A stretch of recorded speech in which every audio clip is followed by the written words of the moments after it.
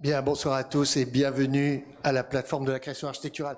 C'est un immense plaisir de vous avoir ici ce soir parce que c'est avec un événement exceptionnel. Et pourquoi exceptionnel? Parce que non seulement nous recevons une immense architecte espagnole, euh, je dis bien immense parce que son talent est méconnu, elle est connue déjà dans son pays avec quelques difficultés, on voit bien dans la grande école espagnole, elle joue dans une autre catégorie, c'est assez intéressant à voir et on va tirer les fils de toute cette histoire ce soir. Ça, c'est la première chose. Donc, c'est la venue de euh, Chinchilla. Et, et puis, les freaks face à elle. Alors, ne croyez pas qu'on a fait exprès de mettre un garçon et trois filles pour essayer. Non, non, non, non, non, c'est pas du tout ce genre de truc de défi, pas du tout. D'ailleurs, elle sait se défendre et vous allez le voir. Elle a des arguments théoriques qui vont tous les plier là, les trois. Donc, ça va être intéressant de voir comment ils vont devoir résister à toutes ces attaques et comment ils vont devoir se positionner. Et c'est là qu'on les attend. Mais pourquoi c'est exceptionnel? Parce que les freaks, ils sont les auteurs du lieu. Ce sont eux qui l'ont euh, conçu. Et donc, à un moment, puisqu'ils ont obligé euh, pendant trois ans et demi des architectes à euh, se conformer au half-pipe, à l'exercice de half-pipe qui devenait quasiment une torture pour certains, hein, et donc, euh, puisqu'ils disaient, mais pourquoi ils ont fait quelque chose d'aussi formel? Eh bien, on s'est dit, là maintenant, ça suffit, nous allons les prendre à leur propre jeu et leur dire, your guest. Donc c'est les freaks, ils sont les invités, pas, uniquement parce qu'ils ont créé le lieu, en tant qu'architectes. Voilà, et ce sont des architectes dont le parcours est très très intéressant sur le mode de l'installation, sur le mode de la mise en question. Mais tout ça, je laisserai Emmanuel euh, euh, euh, justement euh, mettre ça en scène, car c'est elle la patronne ce soir. Vous savez, connaissez l'exercice, un critique invité vient justement établir une discussion, sachant que nous, nous avons établi le film, et que leur installation, justement, là, je vais en parler une seconde, parce que dans l'exercice que nous avons, le half-pipe, évidemment, j'étais très intéressé. Autant je, je, je m'attendais à ce que Isaskun nous émerveille euh, après Andrés Raque, qu'il y ait là encore cette fibre espagnole post-movila, qu'il y ait quelque chose de... Ça, j'étais pas du tout étonné. Mais qu'est-ce qu'ils allaient faire, là, les trois? Qu'est-ce qu'ils allaient faire? Et ce qu'ils ont fait, eh bien, ils ont démonté leur propre système. Et là commence un vrai travail sur la question de la déconstruction. Donc, ça va nous ramener à des, postures intéressantes. Voilà. Donc, euh, voilà, j'en dis pas plus, mais je voulais quand même partager avec vous ce moment de vrai plaisir de la rencontre entre ces deux équipes qui ont beaucoup à se dire. Voilà, Emmanuel, c'est à toi maintenant. Merci Francis. Euh, merci à Francis Rambert et à toute l'équipe de la plateforme d'organiser euh, cette rencontre. Et je voulais juste souligner aussi que c'est un des rares événements réellement européens à Paris. Et c'est d'autant plus important que demain, le Royaume-Uni quitte euh, l'Union. Et donc, heureusement que l'Europe est célébrée en architecture ce soir avec vous tous. Euh, alors, je vais simplement donner quelques repères pour que euh, le public euh, vous, vous, découvre s'il ne vous connaît pas encore, euh, pas encore. Et puis, on va dire la, présentation euh, du travail et des, positions va se faire au fur et à mesure de, la discussion. Alors je commence par vous, euh, Itzaskun. Euh, vous fondez donc votre agence à Madrid en 2001 après avoir obtenu un diplôme de euh, l'ETSAM la même année, euh, donc directement après les études. Et puis votre carrière commence notamment par un prix au concours européen sur le site de Santiago de Compostela. Euh, votre parcours se caractérise alors par une complémentarité entre euh, pratique avec votre studio, mais recherche également, puisque vous avez un laboratoire à la Bartlett School of London, euh, à la UCL, donc à l'Université de Londres, et puis vous enseignez énormément, donc à l'ETSAM également, mais aussi vous avez enseigné à l'école spéciale ici à Paris, et euh, vous êtes aussi passé par les mines au sein du laboratoire de sociologie de Bruno Latour. Et puis euh, rapidement encore pour dire que l'agence donc opère à différentes échelles, depuis l'installation, le stand, euh, la scénographie, les aménagements intérieurs, et puis également à l'échelle de euh, l'étude urbaine et du bâtiment, comme avec la médiathèque du château de Garcimonios que vous avez livré assez récemment. Et enfin, je voulais mentionner un prix. Donc, Idaskun a vraiment une dimension européenne puisque vous êtes honorary, un membre honoraire, pardon, du RIBA, donc de l'ordre des architectes britanniques. je passe à vous, les Frix. Alors, Frix, Free Architect, je sais jamais combien il faut, si on dit tout ou pas, mais en tout cas, Yves Pesquet, Cyril Gauthier et Guillaume Aubry. alors, vous créez votre, agence pardon, à Paris en 2007. Vous m'arrêtez hein, si, je dis, des bêtises. et dès 2010, donc très très tôt, vous êtes lauréat des AJAP, donc qu'on connaît bien ici, les jeunes albums, enfin les albums des jeunes architectes et paysagistes. Et puis du coup, euh, le jeu consiste à faire la scénographie de l'année euh, de la promotion suivante. Donc c'est ce que vous êtes attelé à faire.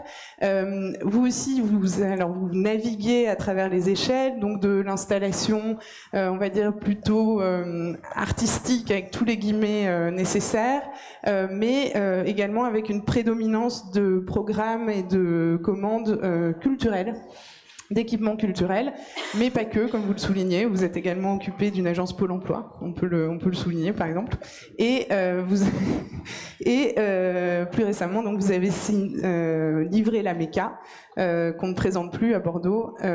avec Big. Avec Big, voilà. alors, comme l'a dit Francis, vous jouez à domicile, donc je ne vais pas le répéter. Et enfin, juste un prix, vous, êtes, vous avez été lauréat des 40 under 40 en 2016 ou 2017 si je ne m'abuse. Je vais continuer à parler un peu parce que je voudrais essayer d'introduire un, thème ou un, fil qu'on va essayer de tirer euh, au travers de toutes les questions ce soir. Et, euh, et je proposais de réfléchir à cette notion de dialogue, euh, parce que c'est ce, l'exercice auquel vous allez vous adonner ici, en votre présence. un dialogue qui est finalement une occasion assez rare dans le milieu de l'architecture. C'est vrai qu'on n'est plus habitués aux conférences, aux longs monologues, euh, et que là c'est quand même un luxe que de pouvoir euh, échanger. Et je vous rassure, à un moment je me tairai pour les laisser, euh, les laisser discuter.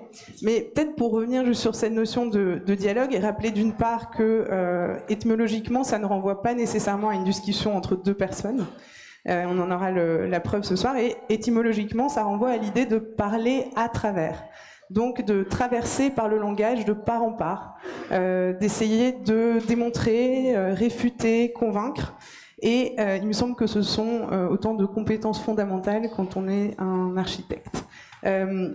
L'exercice du dialogue donc permet une mise en évidence des contradictions, et j'espère qu'il y en aura ce soir, et aussi des convergences, des opinions et des idées. Euh, comme je le disais ici, le, dialogue se fait face à un public, donc euh, vous allez avoir recours à de la dialectique ce soir, mais aussi à de la rhétorique.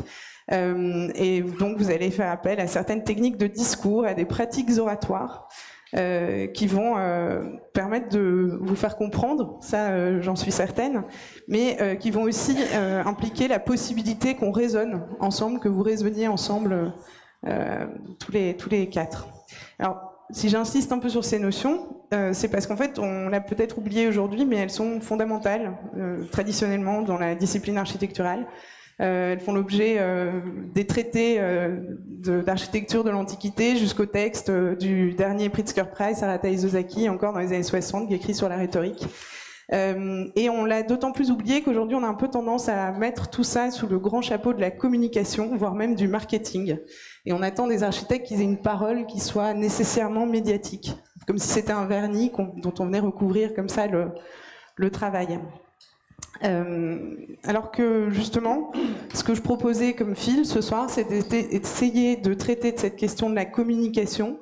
Et on peut dire que vous êtes d'une certaine façon des architectes communicants, voire médiatiques, mais euh, de la traiter toujours dans notre petit travail d'étymologie en lien avec la notion dont elle euh, dérive, qui est celle de communis, celle du commun. Essayer de comprendre peut-être comment eh bien, finalement cet, euh, exercice de communication auquel les architectes s'adonnent tant de fois euh, ne renvoie pas nécessairement à des singularités, à des individualités, à des signatures, comme on a pu le voir dans les deux dernières décennies peut-être, mais qu'au contraire, ça peut permettre de réfléchir à ce qui relève euh, du commun, du partagé en architecture et au-delà. Euh, et puis que justement la communication euh, à laquelle vous êtes, alors je vais dire tous les deux, mais je veux toujours dire tous les quatre, hein, mais Frix et Itaskun Chinchilla, particulièrement rompus, et bien qu'en fait cette communication, on puisse également la penser comme un espace à proprement parler de, réflexion, de raisonnement rationnel, partagé, que finalement ça soit un vrai lieu de projet. Voilà, c'est un peu pour essayer de brosser le, le, fond, l'arrière-plan des, j'espère, de ce qui va nous, nous animer, nous occuper ce soir. Euh, d'ailleurs, vous êtes évidemment euh, incité à me contredire, à m'interrompre euh, et, à, voilà, reprendre votre la place. mais en tout cas, voilà, c'est peut-être, pour citer le, théoricien d'architecture Pierre Vittoriarelli, vraiment d'essayer de réfléchir à quelque chose qui serait de l'ordre du pré-individuel en architecture et qui est cette notion de commun. Alors, je me tais.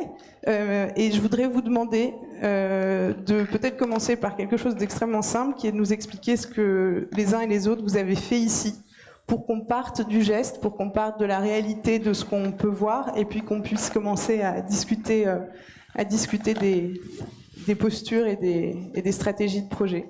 Je ne sais pas qui veut, qui veut attaquer pour présenter votre, votre installation. Well, first of all... Bien, tout d'abord, je vous prie de m'excuser de ne pas parler français, c'est bien dommage. Euh, euh, il faut que je parle plus près du micro, comme Madonna peut-être. Donc, désolé de ne pas pouvoir euh, vous parler français. Je l'ai étudié à l'école, mais j'ai tout oublié.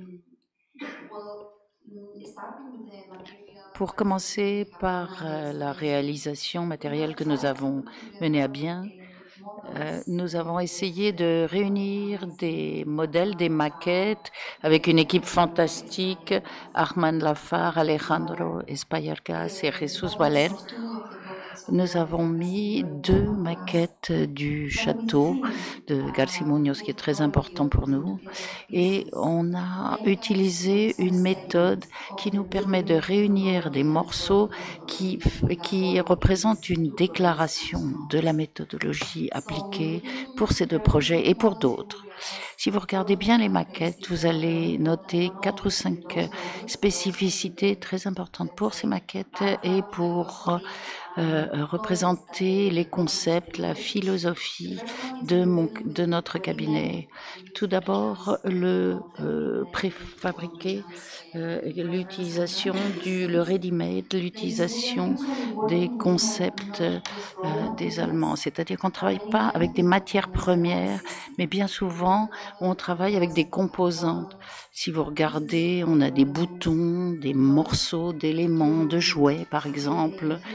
Euh, des broderies féminines typiques ou des outils de broderie typiques.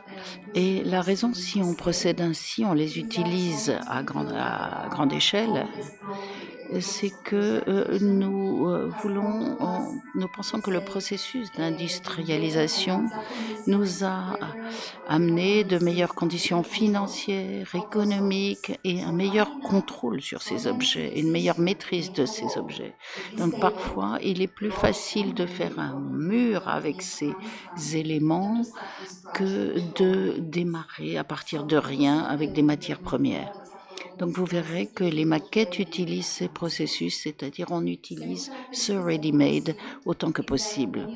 Par ailleurs, comme vous le verrez, beaucoup de nos projets euh, ont un aspect temporel, non seulement le temps en version courte, l'installation de projets pop-up, mais aussi sur le long terme, c'est-à-dire que l'investissement dans l'architecture a toujours été sur le temps long et euh, il s'agit pour les architectes d'être responsables non seulement du faire, mais aussi du démantèlement de ce que nous faisons, du démontage. Et ce qui est obligatoire dans tous nos projets, c'est de voir comment ça va pouvoir se démonter, quelle sera l'empreinte ultérieure. C'est-à-dire, cela, ça ressort à la fois dans le les maquettes et dans le projet réel. C'est-à-dire qu'on réfléchit aux éléments, aux composantes de manière indépendante. Vous verrez dans le pavillon Organic Growth de New York, ou dans le château médiéval de Cuenca, on fait des petites choses telles que des dômes, des arbres, des petits éléments de mobilier qui peuvent être démantelés, démontés et euh, séparés. Et c'est quelque chose qui est à la fois présent dans la maquette et dans la conception. La troisième condition, c'est de euh, comparer par exemple des graphismes, des, dessins euh, d'architecture, où on va comparer à la fois les maquettes et les réalisations. Et on essaye de voir la conscience environnementale qui euh, nous oblige de voir comment le vent, les saisons, l'humidité, la lumière, sont des éléments d'activation. Donc on les retrouve dans l'espace et peut-être que le rendu ne le montre pas bien et c'est cela qu'on essaye de montrer avec la maquette. Et on a essayé avec les maquettes des projets, essayer de voir, on a essayé de voir comment les gens qui vont voir une exposition au château ou qui y vont parce qu'ils vivent dans le village d'à côté, euh, on essaye de, de voir comment le, désir de chacun est vécu, chacun a des attentes différentes. Donc on essaye d'avoir une architecture hybride à différentes échelles et qui implique des éléments différents. Donc on essaye de retracer ces euh, possibilités multiples, cette hybridité. Donc euh, c'est à la fois une construction du projet et une construction de la maquette en parallèle qui relie tout cela aux différents projets du, du cabinet en essayant de créer la logique du ready-made, du performant et des euh, publics multiples. Le projet dont vous parlez, les deux maquettes, renvoient donc à l'Organic Growth Pavilion, euh, réalisé à New York, et la médiathèque du château de Garcimunios. Oui, c'est ça. Et alors, vous, à propos de performance, justement, peut-être, et de cette euh, euh, dimension temporelle, là, vous pouvez aussi peut-être nous introduire rapidement le, le, le, geste ou le. Je sais, je m'adresse aux trois en même temps, je ne sais jamais à qui je. Il y en a, toujours un qui commence et c'est souvent je moi. Je parlerai du film. Non, rapidement, euh, on a dessiné. Quand est-ce que c'était ce, ce, socle? On a dessiné ça. La première saison, c'était il y a 4 ans, 3 ans, 4 ans C'est 2015, 2016, ouais. un truc comme ça. Euh, et donc, euh, bah, on s'attendait peut-être secrètement à ce qu'un jour on nous dise bon, euh, c'est votre tour, allez-y, allez-y. Euh, et c'est vrai que c'était, on, on, a beaucoup discuté en fait. Euh, Peut-être qu'on peut parler des projets qu'on n'a pas fait aussi. Euh, on a vraiment, on a, on a, tourné un petit peu le truc dans tous les sens. À un moment, on s'est dit, c'est une question qu'on a posée nous-mêmes. Euh, donc, est-ce qu'il y a une pertinence à ce qu'on essaye d'y répondre? Du coup, l'idée de la déconstruction, euh, est venue en parallèle du film donc, dont on va parler euh, Cyril. Euh, cette idée en fait de faire, c'est ce qu'on disait un peu dans le texte de présentation, mais une espèce de d'IKEA à l'envers en tout cas, de retrouver un petit peu le l'essence de, des matériaux, de ce que pouvait euh, être euh, une espèce de, de, de liste de euh, qui permettrait de refabriquer le le pipe en tout cas originel, comme une espèce d'objet, euh, comme si c'était devenu un meuble en fait de le, du catalogue euh, Ikea euh, Pipe avec un haut barré. Non, il n'y a pas de haut dans Pipe. Euh, et et donc non, on a, on a même fait appel à la même entreprise en fait que celle qui était venue euh, d'Italie euh, pour rester dans un, une discussion européenne, euh, qui est Brazzo pour ne pas le citer, qui est revenu pour démonter euh, donc une la partie de notre partie du, du, du half pipe. Et c'était une espèce d'archéologie aussi de notre propre projet, parce qu'à un moment on dessine des choses. Euh, vous êtes certainement tous plus ou moins architectes, au moins étudiants en architecture. Quand on dessine, on fait des plans d'exé qui sont censés être exécutés par l'entreprise de façon euh, fidèle. Et en fait, euh, bah, à l'intérieur du pipe, il s'est pas du et tout passé ce qu'on avait prévu qu'il se passerait. Et c'est en ouvrant le pipe, en l'éventrant, qu'on s'est rendu compte que les, la structure était pas du tout celle qu'on avait dessinée à l'époque. Et donc on a on a redessiné. Donc c'est un travail qu'on a fait euh, à l'agence. On a redessiné sur AutoCAD la structure après avoir pris les mesures du, du pipe pour euh, pour euh, retrouver les éléments de, de départ. Et donc tout un travail sur la déconstruction, démantèlement, désassemblage, du, qui, est, qui est mis en perspective par le film dont tu peux parler. Et, et pour faire la transition avec l'Italie. C'est pour ça que sur le, la demi-partie du pipe de Madame, il y a marqué euh, Santro. C'est pas nous, c'est vraiment l'italien. Pour quand il a assemblé le pipe, il s'était mis des repères euh, en italien. Si on, si on fait la transition avec le film, le film, il est il est tout nouveau et en même temps c'est une, une, idée qu'on a dans la tête depuis 2012. Depuis 2012, on veut faire un, un long métrage sur le sur la vision de l'architecte au cinéma et la vision du métier d'architecte au cinéma et que au cinéma parce que sinon il y a d'autres d'autres thématiques forcément.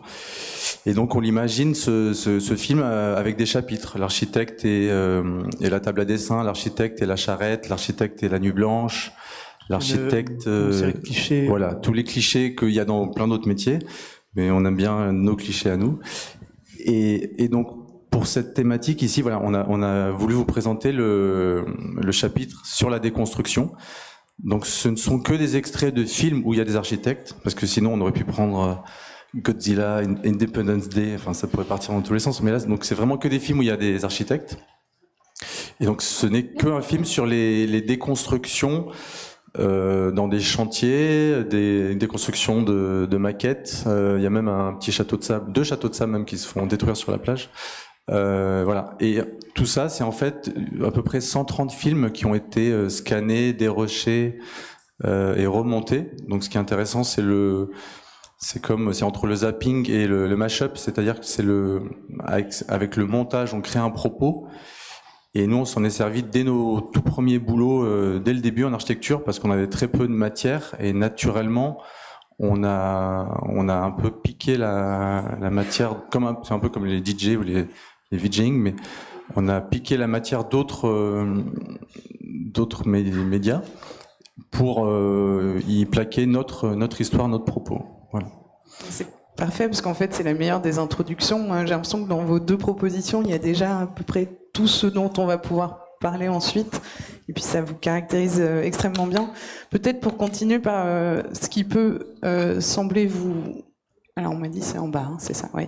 Euh, une sorte de, de posture commune peut-être, même si, euh, comme on peut le voir euh, sur la sur le pipe, euh, elle prend des, des atours et complètement différents, mais c'est peut-être euh, pour parler de cette question de la création, puisqu'on est quand même à la plateforme de la création architecturale, et c'est toujours un terme qui peut peut-être surprendre un peu, sembler peut-être un, peu anachronique parfois, et d'autant plus euh, dans les débats actuels sur euh, la crise, crise, écologique, sur euh, euh la crise climatique, euh, le changement climatique, et qui sont toute une série de faits établis scientifiquement. qu'il ne s'agit évidemment pas de pas de, de de discuter, mais qui euh, développent aussi, nourrissent aussi tout un tas de discours euh, en architecture comme dans d'autres champs, euh, et qui euh, sonnent parfois comme des appels à, euh, au réalisme, un réalisme qui serait un peu un appauvrissement ou un aplanissement ou une sorte d'urgence comme ça, avec des discours catastrophistes. Euh, et, euh, et, il me semble que peut-être que cette notion d'invention ou de création, parfois, elle nous apparaît un peu comme un luxe, un luxe indécent dans cette euh, période de, crise. Et il me semble qu'au contraire, alors à nouveau, hein, vous pouvez me, critiquer, pardon, comment dire, oui, me critiquer aussi, mais me contredire surtout. J'ai l'impression que ni l'un ni l'autre, ou ni l'une ni l'autre, justement, ne ne, vous retrouvez dans cette, euh, dans cette position-là, qu'au contraire, la création, au contraire, l'invention, euh, peut-être même euh, une certaine danse de la joie ou, de, ou de fête infinie. Il y a peut-être quelque chose un peu de cet ordre-là chez vous. Euh, J'ai l'impression que notamment chez vous, euh, Itascon Chinchilla, ça passe par un... Vous réclamez le droit à la beauté dans, vos projets. Et ça passe par quelque chose qui peut sembler peut-être un peu léger, qui est une profusion d'ornements, de couleurs, de détails.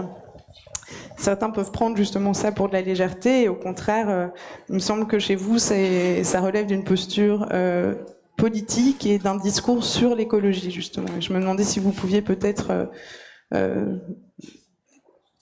nous en dire un peu plus sur ce retour à la beauté. Bueno, oh, Désolée, j'allais vous parler en espagnol. Donc, je crois qu'il faut que je crois qu'en quelques phrases, vous avez vraiment réussi à relier des points essentiels.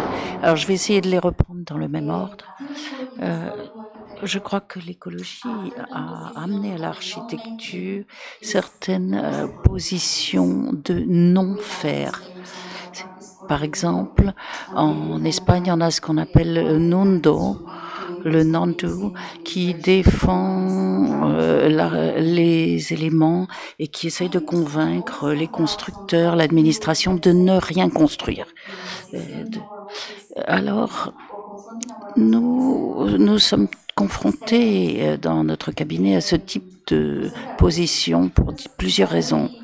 Tout d'abord, c'est une déclaration éthique très facile, qui est très forte, une position forte, puisque le plus écologique, c'est de ne rien faire, disent-ils. Mais pour être honnête, je ne crois pas que ça soit vrai, pour plusieurs raisons. Tout d'abord, je serais peut-être d'accord, et je pense que c'est tout à fait vrai dans ma génération, que les architectes qui pratiquent en Europe, aux États-Unis ou dans les pays développés ont trouvé que la plupart des infrastructures étaient déjà là, les, les buildings, euh, les hôpitaux, les écoles, pour l'essentiel, sont déjà là. Et en fait, il s'agit de les rénover, de les transformer et de transformer ce qui existe pour en faire autre chose. Alors là, je suis tout à fait d'accord. Mais cette transformation requiert de notre part beaucoup de création beaucoup de cette capacité folle de faire du nouveau avec ce que nous avons. Réfléchissez à la manière dont on a changé en dix ans. Combien les choses ont changé en dix ans alors que les enfants ne travaillent plus avec des livres mais avec des iPads. Les parlements en dix ans euh, sont passés de 20% à 45% de femmes. Euh, et tout ça s'est fait en une décennie pour la plupart. Les hôpitaux ont changé aussi. Au, au départ, on avait des mesures qui étaient faites sur place, des analyses sur place, et maintenant on fait de la télémédecine. Donc en dix ans, les choses ont été totalement modifiées dans notre mode de procéder. Et notre capacité d'imagination et de faire les choses est absolument essentielle pour transformer ce qui nous entoure tour parce qu'il nous faut constamment réutiliser les choses différemment. C'est pour cela qu'on a besoin de cette folie que vous retrouvez sur ce tableau. Et par ailleurs,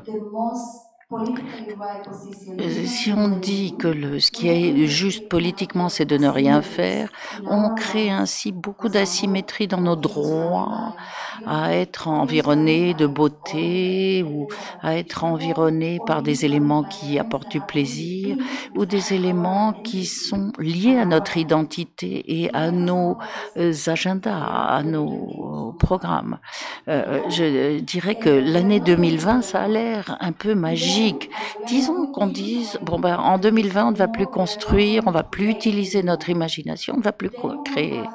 À ce moment-là, on aura des générations passées, une histoire passée qui a pu modifier notre environnement comme il le voulait et qui ont créé une identité, qui ont eu le droit à euh, modifier l'espace pour tout changer. Et on va dire à la nouvelle génération, non, vous ne, vous ne pouvez plus le faire. Et puis on va mettre en place des conditions totalement asymétriques à ce moment-là. Donc je crois que vous avez raison, on peut parler de détails, d'ornements, etc. Mais je suis beaucoup plus dans la posture de dire la beauté est un droit social qui a toujours existé et qui est une qualité essentielle de la vie. Et la culture est un droit et on ne doit jamais jamais, dénier l'exercice de ce droit. Est-ce que vous voulez réagir directement Sinon, moi, il me semblait que vous, pour essayer de aussi, euh, comment dire, euh, lire un peu vos, pratiques, il me semble que chez vous, il y a euh, un recours aussi à la, alors à la narration, à l'humour, au pop, à toute une série de choses qui aujourd'hui aussi ont, ont tendance à être remisées comme étant bon, euh, superflu, euh, non nécessaire, euh, comme introduisant, disons, un, délai qu'on voudrait voir raccourci. je ne sais pas si ça, vous semble justement être une sorte de peut-être de résistance à, l'aspect pressant des questions, non pas que vous ne vous y intéressiez pas, mais que vous plutôt que vous refusiez de céder à l'alarmisme. J'y vais, je, je, te laisse. Je sais pas ce que je veux dire. Hein. Euh, je, vais, essayer de faire création, beauté, humour. Je vais essayer de faire ça. en trois mots. non, la, la, création, c'est bien que tu parles de ça parce que, enfin, nous, on a l'impression que c'est le propre de ce métier-là. Et, s'il n'y a pas de création, je pense que nous, on arrête l'agence. Enfin, soit on est content de faire ce métier parce qu'on crée des choses et on, a l'impression d'inventer. Peut-être des fois on n'invente euh, rien du tout, mais au moins on a l'impression d'inventer ou de réfléchir. Mais s'il n'y a pas ça, c'est un métier où il faut être curieux, avoir envie de, batailler aussi. Euh. et donc, un peu notre la création, c'est un peu notre carotte à nous. Euh. Enfin, s'il n'y a pas ça, il vaut mieux arrêter, je pense. Euh, c'est étonnant, enfin je trouve ça bien que tu parles de beauté parce que ça m'a rappelé à mes, mes études, euh, je sais plus si c'était à Paris, je me souviens que tu étais avec nous à l'école, soit à, l'école de Montpellier d'où je venais, mais je sais plus laquelle c'est, mais je sais qu'il y a une école, ça m'avait marqué, c'était interdit de dire qu'un projet était beau. C'était extrêmement tabou et euh, fallait euh, contourner ce mot-là tout le temps et, euh, et, il fallait des fois il fallait être euh, plus malin, c'est-à-dire qu'il fallait avoir un argumentaire pour arriver à la même conclusion, mais surtout pas parler de ça. Euh, et, euh, et euh, le troisième mot, du coup? Tu peux remplacer peut-être austérité. Austérité. justement, il me semble que vous. Oui, non, sur l'humour. Sur l'humour, euh, sincèrement, c'est pas du tout. Je pense hein, que c'est pas du tout calculé. C'est simplement notre façon à nous de nous positionner. Parce qu'on est drôle aussi. Ouais, on est hyper marrant. Non, mais c'est pas calculé, c'est que c'est notre façon de se positionner dans ce monde qui est très compliqué, où il y a des, des super archis, et nous on est euh, des archis parmi d'autres. Euh, en plus, avec Internet, c'est même pas, il y a d'autres archis français, c'est qu'il y a d'autres archis terriens. Euh, euh, on est aussi une bande, comme pourrait être un, groupe de musique ou ou des ou je sais pas quoi mais euh, c'est aussi peut-être une façon de se cacher derrière des choses, mais en tout cas, c'est un axe qu'on a trouvé, euh, mais c'est pas calculé et euh, on a l'impression qu'on peut faire sérieusement un métier sans être sérieux. C'est pas incompatible.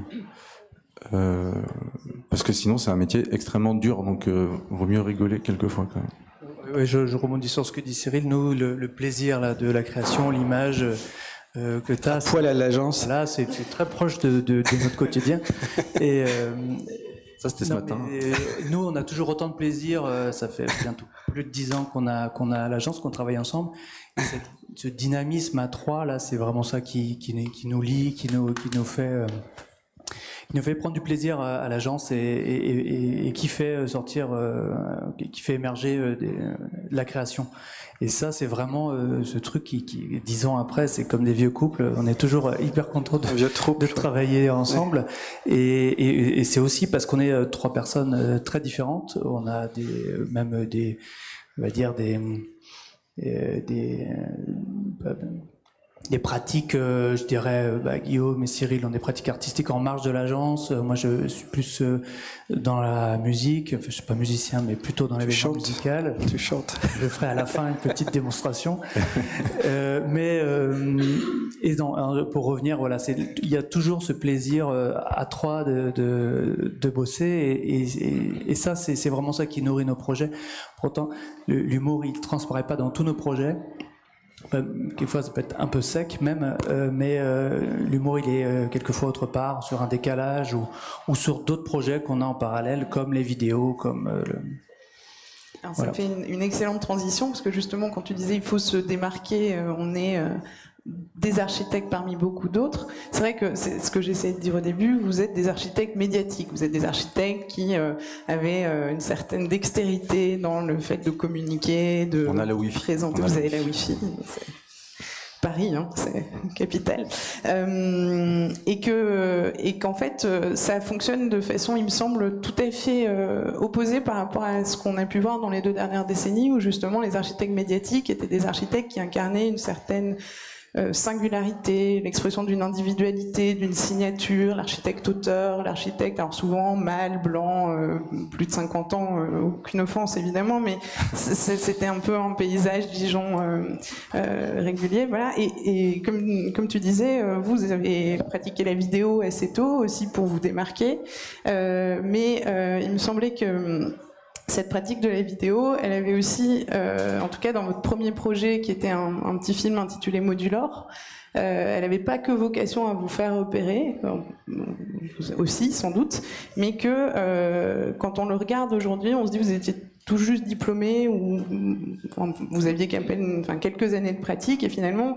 dans cette euh, dans cette vidéo vous vous êtes attaqué à un des mythes fondateurs de l'architecture, de l'histoire de l'architecture, de l'enseignement de l'architecture en France et vous l'avez rendu profondément vivant parce qu'il a été incarné. Et je me disais, mais ça c'est quand même une belle leçon finalement par rapport à cette, euh, ce commun de l'architecture, qui est ce savoir partagé, et le fait que la communication, cet aspect médiatique, puisse en fait venir euh, non pas simplement être une, une façon de se démarquer, mais aussi une façon de réfléchir à qu'est-ce qui nous, nous relie. Euh, je sais pas, qui veut, si vous voulez. Je... le film du coup peut-être? Euh, Modulor. Euh, Modulor, c'était une, une, histoire très particulière euh, parce que c'est une histoire très personnelle et une histoire euh, très universelle. Euh, universelle parce que c'est euh, l'unité radieuse de Le Corbusier à Marseille, bâtiment mondialement connu qu'on a tous vu dès l'école, dans les bouquins, etc et histoire très personnelle car c'était l'appartement de ma grand-mère. Donc moi j'ai connu, j'ai connu et j'ai habité dans cet appartement tous les Noëls à Marseille jusqu'au bout. Et euh, donc moi je l'ai toujours vu de l'axe domestique et c'est que très tard que, enfin je savais que c'était un grand architecte mais je l'ai jamais senti et il n'y avait jamais ce poids-là et ce respect-là dans ma pratique. Et donc il se trouve qu'après on est architecte, on a l'agence, etc. Et que ma grand-mère vieillissant, elle a déménagé. Donc l'appartement, on a eu la chance ou l'opportunité, en, tout cas il y a un instant T où l'appartement est vide. Et donc on se dit qu'on a une chance unique d'avoir un, appartement de Le Corbusier à disposition où on peut faire ce qu'on veut. Et, donc on se rend compte qu'on a affaire à, notre grand, enfin au grand-père de l'architecture, et donc c'était l'idée un peu comment, à la fois un peu comment le, triturer, comment tuer le grand-père de l'architecture, et à la fois comment montrer un projet qui est déjà mondialement connu. Donc c'était comment le montrer différemment.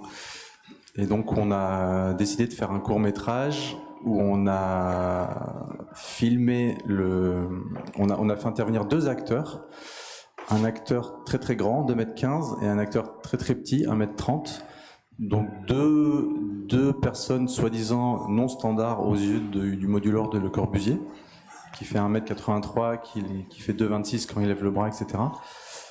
Et donc le, le modulor qui a du coup un regard, une vue à 1m70, ben, on l'a confronté aux, deux regards de la grande personne et de la petite personne.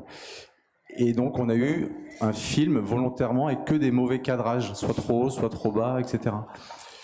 Et donc voilà, c'est ce court métrage qu'on a qu'on a fait et c'est un projet. Euh, enfin, il n'y a aucun client.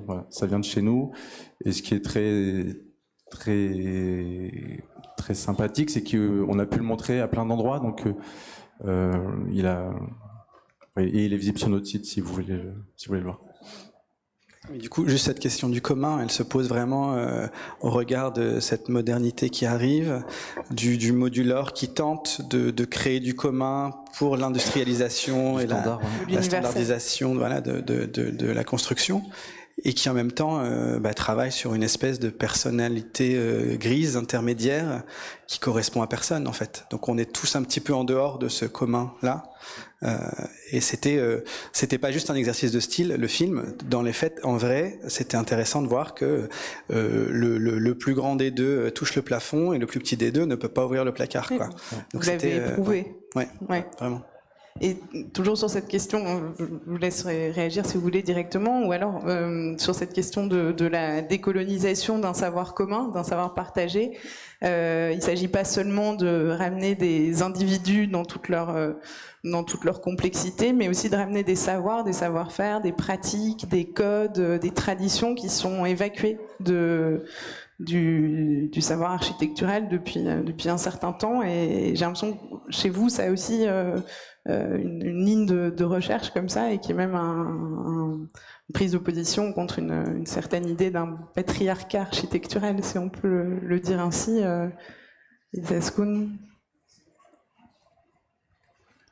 Si. Oui, absolument. oui.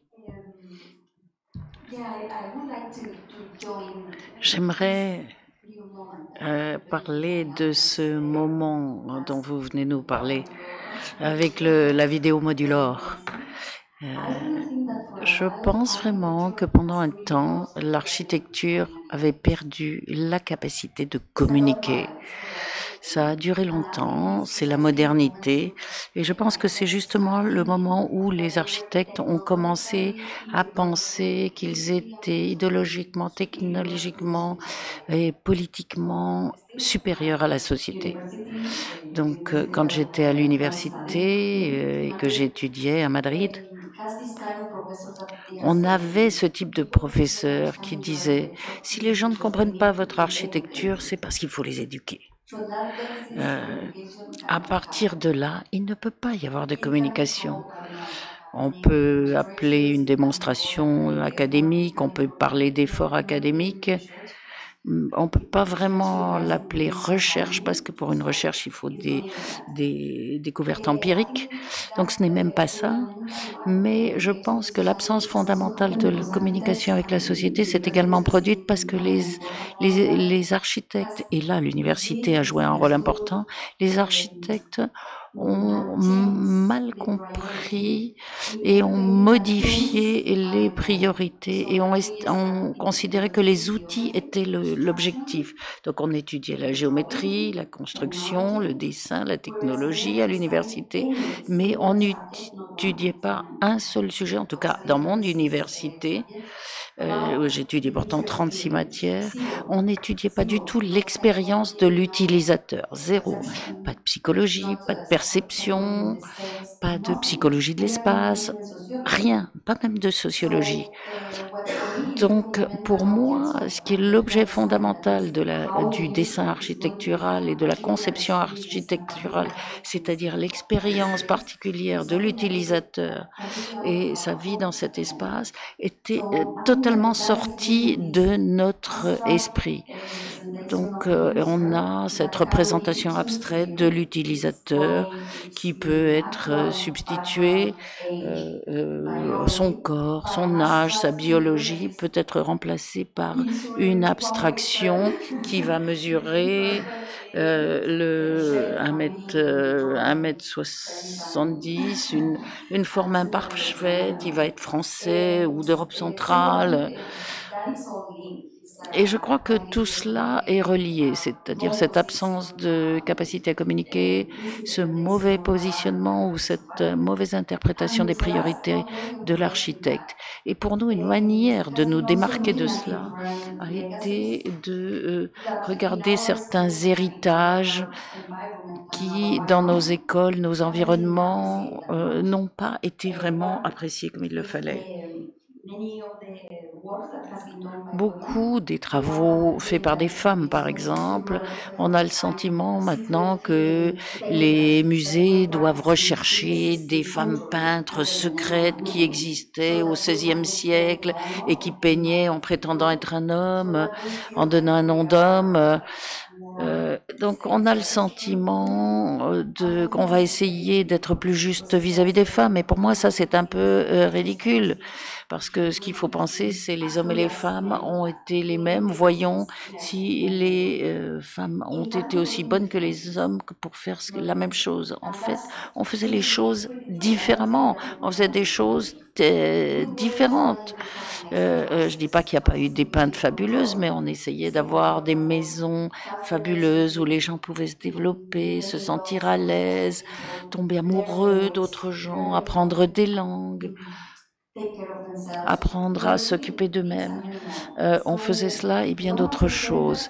Et un des euh, héritages dont nous voulons apprendre, ce n'est pas le Corbusier justement, c'est on souhaite apprendre de la broderie, comment mettre la table, faire une jolie table, comment éclairer une maison, comment écrire une jolie lettre en disant à quelqu'un qu'on l'aime, ou comment avoir euh, des pastels, euh, peindre des pastels ou mettre des euh, couleurs claires dans ses placards. Donc je crois que cela a été important dans notre vie quotidienne et nous pensons que c'est là un répertoire, une palette, une logique que l'on peut étudier avec des repères, des auteurs, des histoires, des données sur des périodes différentes, des styles différents, avec la richesse et la complexité de l'histoire officielle. Et, et il faut comprendre quelle est la valeur de tout cela dans notre monde actuel. Vous apparaît comme étant déjà plein, non? Aussi de ce point de vue-là. Oui. Oui, c'est un paradigme. Euh, c'est-à-dire qu'il y a beaucoup de gens dans l'économie qui nous parlent du paradigme du monde vide par opposition au monde plein. Euh, par le passé, euh, on avait des économies qui n'occupaient pas vraiment le monde, qui représentaient une petite partie. On parlait des forêts, on parlait des plages, des montagnes, des chaînes de montagnes, de la nature. Et l'économie, elle, était cantonnée à la finance dans des lieux comme New York. Et en fait, on s'est rendu compte après que l'économie, elle est partout. Quand vous allez à la campagne, vous ne trouverez aucun endroit qui n'est pas affecté par une décision économique, politique ou par la politique européenne, les décisions européennes. Donc on est dans un monde qui est plein, qui nous procure tout ce dont nous avons besoin, les écoles, les hôpitaux, euh, la nourriture. Et nous avons beaucoup d'opportunités euh, au début euh, du XXe. Euh, certaines, certaines familles avaient, comme toute possession, 20 à 25 objets, alors que dans le monde, dans les pays européens, le nombre moyen d'objets d'une famille, c'est 20 000. Donc c'est gigantesque. Donc on a tout, on a tout, on est entouré par tout. C'est pour ça que je dis que c'est plein. C'est pour ça qu'on qu'on utilise le ready-made parce que tout est tellement plein qu'on peut utiliser des objets préexistants et on peut les réassembler. Ce qui doit vous parler aussi, non? J'ai l'impression que... Ça, me faisait penser, enfin, cette phrase du coup, elle est, elle est citée dans le texte euh, Le monde est plein, à l'un tout premier statement qu'on a eu à nouveau en utilisant la pensée de quelqu'un d'autre, de Miss Van der Rohe, euh, euh, less is not enough, c'était notre conclusion. Donc less is more, more is more, less is not enough. Euh, c'était peut-être déjà un constat de dire qu'on n'était pas dans le less, on était déjà dans le dans le more, et, puis et puis on peut en rajouter. Et c'est pas. Et du coup, la question de, la réutilisation, on est on est sensible dans une écriture architecturale qui est pas du tout la nôtre, mais on est vraiment sensible à cette idée d'investir des lieux qui existent. Euh, c'est un, un sujet qui nous auquel on est confronté euh, beaucoup à l'agence et dans lequel on a vraiment envie de, de, de nous engager encore euh, plus. C'est vraiment une, une, espèce de, de, moto, là, c'est devenu quelque chose de, ouais, d'important. Parfois même vous trouvez vos matériaux sur place. Enfin, je pense notamment à cette installation que vous aviez fait dans ce, euh, le nom va m'échapper, mais ce parc. Euh, vous aviez simplement euh, Chamarande. À Chamarande, on avait repris des, des arbres disponibles de la forêt pour. C'était une installation artistique pour recréer une une, euh, ligne de topographie. merci, je disais code de niveau. Euh, une ligne de topographie, voilà, euh, pour, la rendre lisible. Mais on avait pris du bois, effectivement, le bois disponible. et encore une fois, dans une écriture totalement différente, c'est vrai que c'est quelque chose qui nous nous, nous, nous, tient à cœur, économie de moyens. Alors, pas, pas, pas tant sur la, la réutilisation, le ready-made, mais euh, vraiment, c'est quelque chose qui est, évidemment naissant encore dans l'agence, mais qui, fait vraiment partie de, la réflexion de s'arrêter un peu plus tôt dans le dans process de, création, euh, notamment dans, l'habitat, et c'est quelque chose vraiment qui nous intéresse de s'arrêter avant, euh, de pas terminer le bâtiment, et, justement pour laisser euh, les gens terminer. Alors où on s'arrête? Est-ce qu'on s'arrête au au toit, à la structure, euh, aux fenêtres, euh, mais c'est quelque chose qui vraiment nous intéresse de ne pas aller trop loin justement dans le design, justement dans nos designs pour, euh, pour imposer le minimum de choses et laisser les gens investir les lieux. effectivement, cette, la construction étant tellement consommatrice de matériaux, c'est quelque chose qui auquel on est confronté et auquel nous, on, trouve certaines solutions. Enfin. Et on, on fait des scénographies aussi, donc on met en scène des, expositions, comme l'expose Chaplin qui vient de terminer à Philharmonie. Et euh, il, y a, longtemps, on avait fait la, scénographie pour le Salon du patrimoine au Carrousel du Louvre. Et c'était un salon où il y avait plein, plein, plein d'exposants et, et, ça durait seulement quatre jours.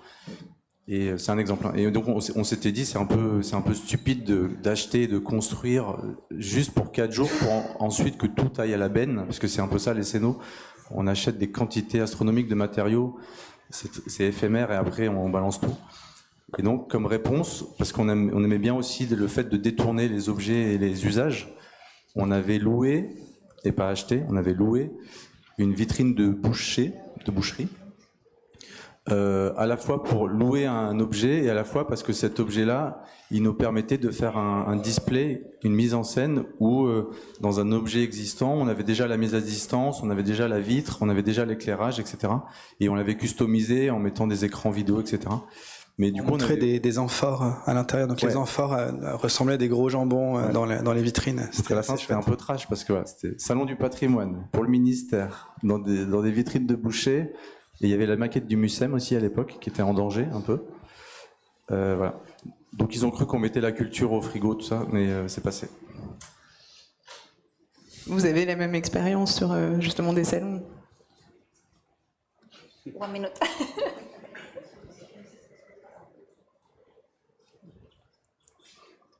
yes, for us. Oui, pour nous, l'architecture euh, pop et euh, pop-up ou éphémère, c'est toujours un challenge du point de vue écologique. Donc c'est quelque chose d'assez controversé, de difficile, euh, notamment lorsqu'on utilise beaucoup de matériaux. Avec cette situation, on se dit ça n'a pas de sens pour quatre jours, comme vous l'avez dit. Nous avons euh, mis en place différentes politiques ou différents modes d'approche par exemple euh, à Madrid pour une euh, exposition touristique très importante à Madrid. Nous avons euh, travaillé et convaincu la mairie de Madrid d'utiliser une partie de leurs propres outils, par exemple les barrières de sécurité qu'on utilise pour euh, canaliser les manifestations. On les a utilisées comme structure et on les a assemblées d'une manière dont ils ne sont pas assemblés d'habitude, de manière à pouvoir les déconstruire et les réutiliser. Donc on, on essaye de voir par exemple au Organic Growth Pavillon à New York, on a utilisé euh, 120 euh, parapluies, euh, des roues, plus de 500 roues de voiture, et tous ces matériaux ont été utilisés pour faire un pavillon temporaire. Mais, mais je dois vous faire une petite confession.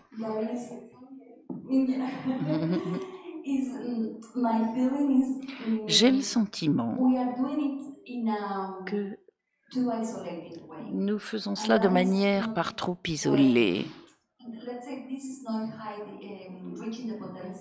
et qu'on n'amène pas cela au potentiel que cela pourrait avoir. Euh, c'est une économie, vous savez, quand vous avez une économie, si vous faites les choses seules, c'est un petit peu difficile. La situation n'a pas de sens. Vous travaillez tout seul, Alejandro est parti pendant trois mois à New York à essayer de récupérer les roues de vélo. Euh, et donc, ça n'avait pas, ça n'avait pas vraiment de sens. Pour moi, l'économie circulaire n'a pas de sens si elle reste un effort individuel. Il est important. On a des règles, des assurances, des, hommes politiques, des constructeurs. Et, une fois que tout le monde comprend qu'il faut faire cet effort ensemble, à ce moment-là, on aura ce flux gigantesque de matériaux, par exemple, jetés par les supermarchés, par les expositions, les événements éphémères. À ce moment-là, tout cela pourra être réorganisé de manière collective en un flux collectif. Mais dans l'intervalle, ce que nous faisons, c'est un petit peu une action symbolique pour essayer d'attirer l'attention sur des possibilités qu'on n'a pas encore atteintes. Euh, alors, par exemple, quand on parle avec des ingénieurs euh, de structure, ils nous disent effectivement, compte tenu des règles actuelles, on ne peut pas vraiment calculer les performances des matériaux euh, recyclés comme l'acier, par exemple parce qu'on ne peut pas savoir s'il est endommagé et du coup, ça ne correspond pas aux normes de sécurité. Donc, on se retrouve dans des situations un peu complexes euh, face à cela. Donc, on parle euh, d'économie circulaire en disant que c'est un pas en avant, mais c'est un pas en avant qui a besoin d'une certaine implication, d'un engagement. Il faut faire un engagement avec un changement d'échelle. Il s'agit d'impliquer des grandes parties de la société ensemble. Comprendre en quoi vous finalement vous partagez des, questions, euh, même si les résolutions sont, sont très différentes, mais euh, donc tant qu'on n'est pas à une échelle globale, il s'agit quand même de travailler localement. Et j'ai l'impression qu'une chose qui peut-être vous caractérise, même si elle se, elle se, ah non, spoil. Ah euh, c'est une forme de légèreté. Euh, et, peut-être que c'est un terme qui peut euh, vous, convenir finalement aux deux pratiques pour des raisons tout à fait différentes. Et j'ai l'impression que Frix, ce qui me semble, c'est dans vos projets, quelle que soit l'échelle, il y a une espèce de recherche de quelque chose qui serait une condensation. Essayer de trouver le geste qui peut-être permettrait de condenser le plus d'usage possible, la plus grande euh, évolutivité possible, le plus d'appropriation possible, avec à chaque fois une, un travail qui peut être très, très retenu, très léger, pas léger au sens structurel ou pas une fragilité structurelle, mais plutôt au sens où vous pesez assez peu sur le monde. Est-ce que c'est façon de voir euh, C'est une jolie, euh, joli compliment. je sais pas, on le prend comme un compliment. Euh, non, c'est oui, c'est peut-être vrai. Euh, je pense aussi que le fait de travailler à trois, on pourra peut-être du coup comparer à la façon dont tu travailles dans l'agence, mais tous les projets qui sortent de l'agence, c'est les projets qui sont l'espèce de dénominateur commun. Et comme le disait Yves, on est à la fois très potes et très différents. Donc parfois le dénominateur commun, il est un peu ténu aussi, pardon. Et, euh, effectivement, ce qui résulte à la fin, c'est ce qui pour nous euh, tient, quoi. Ce qui tient vraiment dans le projet, ce qui fait que si on l'enlève, le projet euh, tombe à l'eau. Et à plein plein d'autres niveaux, euh, c'est là où Yves disait qu'on fantasme cette idée d'arrêter les projets un peu plus tôt. À plein plein d'autres niveaux, il y a des choses qui pour nous sont pas importantes. Pas au sens où on se dit que ça n'a pas d'importance, mais c'est pas important pour nous à l'échelle de notre projet. On se fiche absolument de savoir euh, de quelle couleur doit être le sol et quel carrelage. C'est toujours une tannée pour nous de choisir le carrelage, le, le, les sols, les peintures, le râle, le truc. À un moment, on a envie de dire, c'est vous qui allez habiter dedans pendant 20 ans en fait. Et, euh, nous, on a, on a résolu l'organigramme général. Il y a une espèce de geste qui, qui rassemble des fonctions et on a déjà l'impression d'avoir fait notre, notre travail. Et, euh, et du coup, oui, c'est marrant que tu le dises comme ça, mais peut-être que cette retenue-là, elle est à cet endroit-là. Elle est à l'endroit où, dès qu'on sent qu'on fait un choix qui est un peu, euh, un peu esthétique, on se retient beaucoup et on s'autorise de temps en temps. Vas-y, oui. C'est vrai qu'il y a une idée par projet. Il y a pas. C'est là où c'est condensé. On est fainéant aussi. Ouais on n'en a pas, on n'a pas 10 idées par Quand on n'en a pas des masses, en fait. c'est souvent la même idée. Toutes nos chiottes se ressemblent, elles ont toujours le carrelage blanc, Quand on a une idée, on la, joint noir.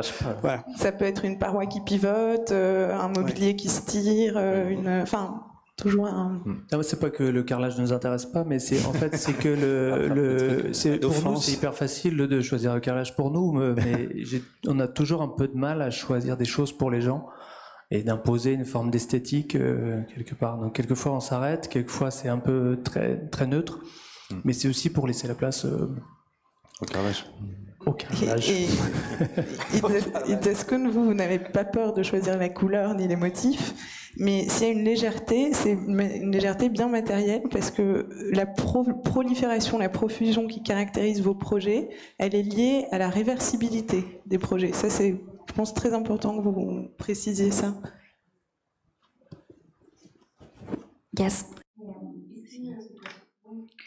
Oui, c'est assez curieux parce que j'ai l'impression qu'on est assez à l'aise avec les notions de détail, même si moi je choisis les carrelages. Euh, donc on, on, part du même point, mais on arrive à des choses différentes, j'ai l'impression.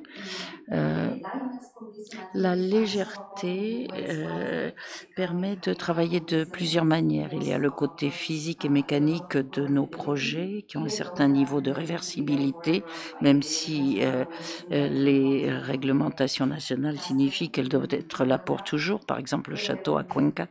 Mais même dans cette situation, si cet élément doit rester pour toujours, notre sentiment vis-à-vis de ces bâtiments qui sont un patrimoine sont qu'ils vont changer avec le temps. Donc il est important d'avoir cette flexibilité sur le moyen terme, sur le long terme. Donc il y a toujours cet élément de base temporelle critique et de réflexion temporelle critique. Et il y a cette notion de légèreté dont vous avez parlé, c'est-à-dire que face à d'autres architectes qui ont défini le côté important de l'architecture comme étant les éléments sublimes et épiques avec des structures massives en béton qui vont définir la lumière en diagonale comme au Panthéon à Rome, ça, c'est un peu une déclaration académique, comme ce qu'on entend de nos professeurs dans nos écoles. En fait, euh, nous, nous essayons de prêter attention aux détails, vous l'avez dit tout à l'heure, et à des petites choses, des choses légères, qui sont plus liées à la vie domestique, à la vie quotidienne. Par exemple, J'aime beaucoup le livre de Naomi Swan qui euh, est Construire dans les détails, Building in Detail. Et euh, elle a cette vision épique et sublime, non seulement de l'architecture, mais de l'art. Et avec euh, des artistes qui vont dans le détail. Michel-Ange disait que la peinture du XVIe décrivait les habitudes domestiques euh, et décrivait notamment les domestiques qui nettoyaient les maisons. Alors il avait peut-être raison, mais c'était aussi des produits culturels très pertinents. Et euh, il faut qu'on puisse faire des produits dont ces domestiques puissent profiter aussi. Et il est important dans notre société de faire attention à toutes les personnes euh, socialement. Donc, euh, il s'agit d'éléments qui ont peut-être été écartés par l'art comme n'étant pas si importants. Par exemple, les fleurs, l'odeur des fleurs, ce qu'on utilise pour un lit. Euh, et euh, tout cela, c'est important pour nous. Et nous faisons porter nos efforts sur ces petits détails qui rendent la vie plus heureuse, plus joyeuse, plus agréable et qui font que l'on peut s'occuper les uns des autres avec plus d'efficacité. C'est pour ça que nous, on choisit les. Et euh, aussi parce qu'on a le sentiment que, à la fois dans la nature, dans l'art, dans l'histoire, euh, euh,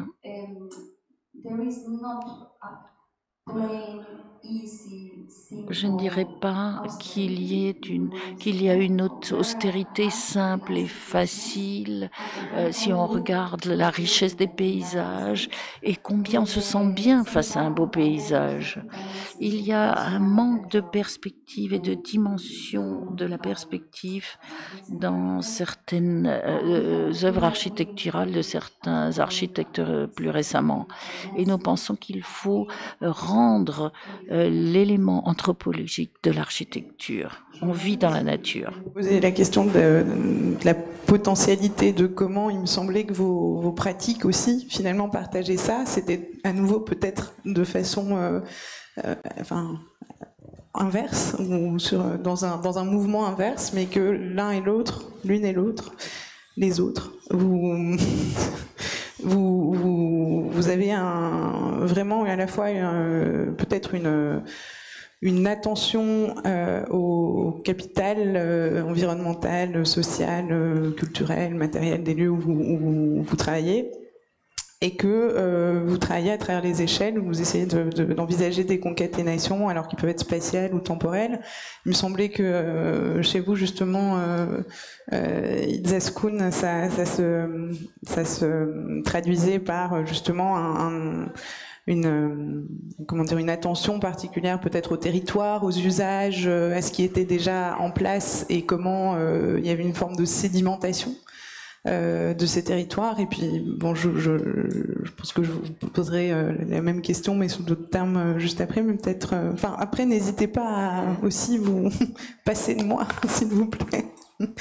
mais sur cette question peut-être d'un capital et de comment on le fait effleurer, affleurer, émerger.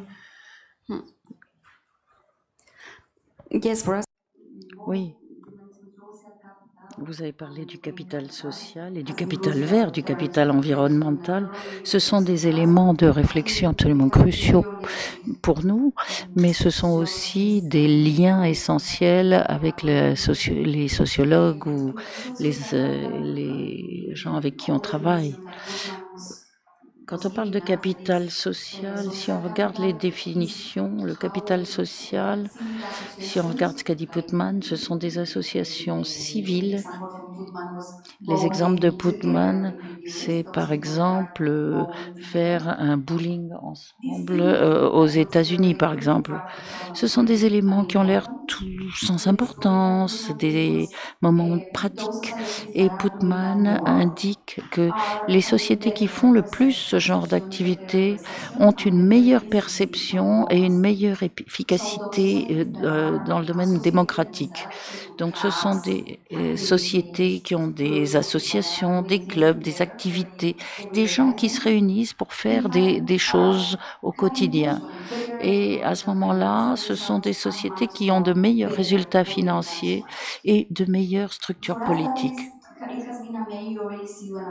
Pour nous, ça a été un élément essentiel auquel nous avons réfléchi. Comment pouvons-nous y contribuer? Et nous avons essayé de le faire à différents niveaux. Par exemple, je pense à un projet à Londres, euh, euh, pour la mairie de Londres, qui s'appelait Retour à l'école. Il s'agissait de, euh, pour les enfants qui venaient à l'école euh, en vélo, de les aider à venir, qu'ils soient seuls ou en groupe. Et, il y avait notamment des enfants de 4 ans. Et il s'agissait de voir comment des enfants de 4 ans peuvent suivre un itinéraire tout seuls, par exemple pour aller à la boulangerie. Alors bien entendu, on ne les autorise pas parce qu'ils peuvent être kidnappés ou se faire inverser par une voiture. Donc c'est quelque chose d'assez euh, difficile. Nous, société, on a décidé de ne pas euh, donner aux enfants les possibilités de se développer au, au, plan cognitif parce qu'on préfère euh, permettre aux gens de conduire dans la ville. Donc, notre manière de contribuer au capital social dans le cadre de ce projet-là consistait à permettre aux enfants d'avoir une expérience fantastique de deux ans, un bâtiment patrimonial, euh, et d'utiliser euh, ce bâtiment dans la représentation tridimensionnelle du voisinage. Donc c'était des enfants de 3 ans, 4 ans, auxquels on montrait qu'ils pouvaient être indépendants et naviguer seuls dans la ville. C'est une association d'enfants et, on les aidait à trouver des chemins et à aller ensemble pour, selon l'idée de Putman, faire des choses ensemble pour construire la société de l'avenir.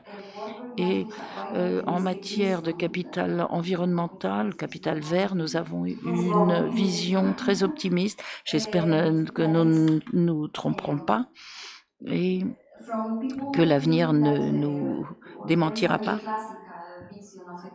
Nous avons il y a la vision classique de l'écologie qui est le fait que le développement n'est pas compatible avec l'écologie et que la seule manière d'être écologique, c'est de rétrécir, de ne plus se développer, de ne plus croître. Et, cela, que la notion de capital vert est essentielle pour nous, c'est-à-dire que si on commence à payer ou à valoriser et à, donner une valeur à ce que nous avons, il y a une compagnie verte qui peut en découler. Supposez que les sociétés commencent à payer pour l'air propre, l'eau propre, il y a à ce moment-là un patrimoine qu'il ne donne pas aux générations futures. Imaginez-vous, on s'imagine que tout cela a une valeur.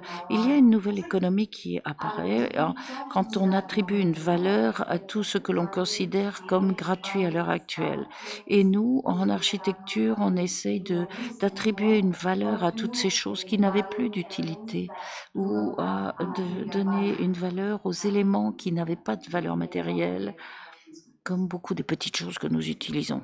Ça pose la question de ce qui est déjà là et ce qui est en puissance et ce qui peut être. Et quand tu disais, bah, nous, on apprend à, s'arrêter, vous êtes confrontés euh, dans les programmes que vous traitez, la culture, justement, à la multiplicité des usages possibles, à des usages que vous ne pouvez par définition pas, anticiper. Et il y a une chose, moi, qui me, semble intéressante, alors celle-là ou celle-là iront bien, euh, justement que vous c'est une démarche tout fait explicite de votre part, mais euh, vous, donc vous produisez des espaces qui sont euh, intermédiaires, qui sont euh, habitables de, mille façons, mais dans la façon dont vous représentez votre architecture, vous choisissez toujours qu'elle soit habitée. Elle n'est pas générique, justement. Elle est ouverte à tous ces usages et vous le jouez, vous incarnez ça justement dans la façon que vous avez de, montrer vos projets, donc toujours tendu vers un possible. c'est vrai. Non, alors ça, ça a un côté un peu petit con aussi, mais je crois qu'on était très vite critique de de, de l'esthétique des photographies d'architecture de euh, du salon bien rangé avec un livre d'art sur la table basse une orchidée une chaise longue euh, Perriand et puis et puis finalement des espaces qui sont qui sont beaux. Pourquoi? Parce que parce que quoi? Parce qu'on a choisi le bon carrelage et le bon voilà et qui sont vides de gens euh, et depuis le tout tout premier projet alors notre tout tout premier projet c'était euh, une surélévation à Saint-Ouen euh, qu'on a nous-mêmes un peu activé en se déguisant en voleur qui est dans, vite fait dans le film là-bas. Ouais où, euh, où, on était donc tous les trois en cagoule et euh, qui mieux que les architectes peuvent cambrioler les maisons qu'ils ont eux-mêmes dessinées. Enfin, C'était un peu notre point de départ. Et on s'est dit tout de suite, en fait, il y, y, a, un pouvoir de la fiction, un pouvoir du scénario qui fait que, oui, il y a toujours un projet d'architecture, mais il est derrière. Enfin, là, il y a de l'archi, mais c'est derrière nous. Ce qui se passe, c'est ce qu'on essaye de se raconter. Euh, et, et dans un musée, dans enfin les programmes auxquels on est confronté, c'est tellement chargé de sens et tellement chargé de d'action, de, de, de, scénario, ce que tu viens d'évoquer, que finalement l'architecture, ça doit toujours rester un peu derrière quoi. Donc permettre, sans essayer de jamais vraiment imposer, mais surtout ne, ne pas essayer de contraindre. Cette idée du scénario euh, juste après le projet, c'est vraiment ce que dit Guillaume, c'est que bon, nous on livre les projets, mais après c'est pas pas qu'on s'en fiche, mais après les gens ils ont fait ce qu'ils veulent. Euh, au Japon, on revenait du Japon, Guillaume et moi, et au Japon il y a toujours cette petite tradition quand euh, un architecte livre un bâtiment, je sais pas, ils, ont de la chance, les clients laissent les clés et ils font une fête. Euh, dans, dans, le bâtiment. Des architectes. avec leurs étudiants, avec leurs amis, tout ça, avant, avant, de rendre les clés. Bon, bah, C'était une, maison de l'atelier Bowo, fait, de Tsukamoto. C'était Tsukamoto, là, en l'occurrence. Euh, et puis après, il donne les clés, puis après c'est terminé. Et on avait gardé cette idée que les gens sont en chaussons. Hein. Oui, bon, c'est quand même assez respectueux quand même au Japon. C'était pas soirée en chaussons. C'était pas n'importe quoi. Et euh, et on a gardé cette idée qu'en fait euh, c'était bien d'activer juste de euh, après avoir passé autant de temps sur un projet, euh, d'avoir passé autant d'efforts, de dire bon allez, il est encore un peu à nous encore une dernière fois avant de donner les clés et, et faire ces vidéos ou ces photos euh, qui étaient un peu décalées. C'était une manière de faire un, un dernier petit clin d'œil quoi sur sur des projets qu'on avait appréciés quoi. Et donc euh, c'était juste le, plaisir de faire de la fiction tout, tout simplement mais. Mais c'est souvent un clin d'œil qui, Enfin, il y a toujours une histoire. Les voleurs, c'est que le client était flippé que les les, les tours d'à côté viennent le cambrioler, en gros. Donc ils voulaient mettre des barreaux partout. Du coup, on a nous-mêmes cambriolé. Euh, son, il a fallu le convaincre de ne pas mettre de barreaux. Il voulait mettre des barreaux partout, alors qu'il était au, au Napoléon, c'était euh, Napoléon, c'est parce que Napoléon aurait habité dans le bâtiment. Euh, voilà, il y a toujours un petit euh, petit clin d'œil, bon, qui est, qui est, une private joke, on va dire pour nous, hein, puis, qui mais qui fait, c'est pas anodin de le noter, qui fait qu'on a des, des commentaires assez violents sur les réseaux.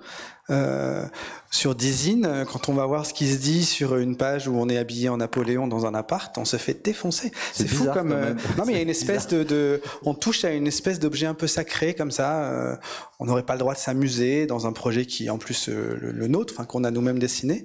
Et une espèce de, de, Voilà, je sais pas, on brise un truc qui est pas non plus. Tu vois, on n'est pas en train de faire une espèce de révolution absolue. mais je sais pas, il y a, y, a, y a, un truc qui vient un peu titiller l'œil en fait, ce, à quoi on est habitué quand on regarde des, images d'architecture sur les blogs. Parce qu'en plus, vous faites appel justement à tout un tas de procédures ou de, trucs ou de matériaux qui viennent ou de savoir-faire qui viennent d'autres champs. Quand tu parles du scénario, ou je sais plus, tu parles du scénario, euh, il y a chez vous euh, un vrai intérêt, une vraie maîtrise pour la culture populaire pop, euh, comme tu disais, l'art contemporain évidemment, mais aussi la musique électronique. Et, euh, j'ai l'impression que ça, navigue quand même dans tous vos, projets, et de deux façons. D'une part, parce que vous en tirez finalement des procédés je sais pas, vous, vous, vous, mixez, vous modulez, vous voilà. Mais aussi parce que une façon justement de ce que vous faites très bien dans le film là-bas, euh, de, replacer l'architecture comme euh, question peut-être commune ou collective, c'est en, réinscrivant l'architecte sur l'horizon commun d'une culture populaire en fait, en décloisonnant justement, en vous mettant en Napoléon ou en que sais-je. Euh, et euh, oui, voilà. Euh, je tenais à la placer quand même.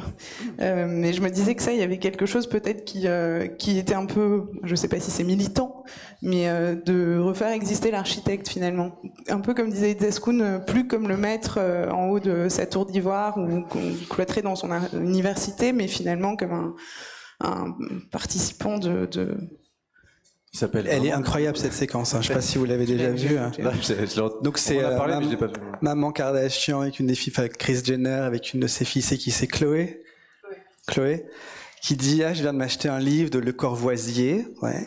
Le, cour, euh, le Courvoisier. Le Courvoisier, ouais. Et donc elle dit oui, c'est apparemment, apparemment c'est un architecte. Tu confonds avec l'alcool, hein. Ouais apparemment c'est un architecte et puis elle feuillette le bouquin et puis oh, ça a l'air chiant et puis ouais mais en même temps ça m'obsède. Mais elle dit non mais tu lis pas les livres tu les feuillettes. Une espèce de, de, situation comme ça et puis le livre se retrouve sur la table basse. Non, du coup ça permet de faire une parenthèse je pensais à ça tout à l'heure et puis ça nous a filé entre les pattes le, cette idée de l'héritage, on en parlait, et en parlait aussi?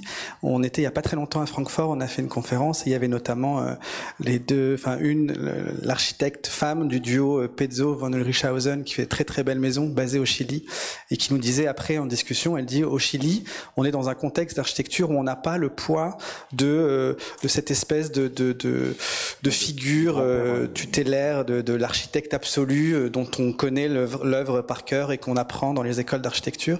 Et du coup, il y a quelque chose de très libératoire, en fait, dans la, pratique de l'architecture contemporaine au Chili, où effectivement, il y a beaucoup, beaucoup de choses. Alors, il y a des sites incroyables, il y a, voilà, mais il n'y a, a pas cette espèce de, sac à dos, là, euh, hyper lourd qu'on a quand même, nous, en partage en Europe, chacun dans nos pays respectifs, et de façon partagée. Et c'était intéressant d'avoir cette discussion avec elle euh, là-dessus. Et j'ai l'impression que vous aussi, dans cette idée de réouvrir l'architecture, de la remettre au cœur du débat public, euh, toutes ces, tous ces savoir-faire que vous développez, euh, sur lesquels vous faites de la recherche réellement, euh, pour, pour faire du réemploi, etc. Euh, il y a toute une dimension de communication auprès d'un public, d'une audience non spécialiste. Euh, donc vous pouvez peut-être nous dire un mot, parce que justement, c'est là aussi la communication, finalement, un, un une dimension euh, de partage. Oui, absolument, totalement.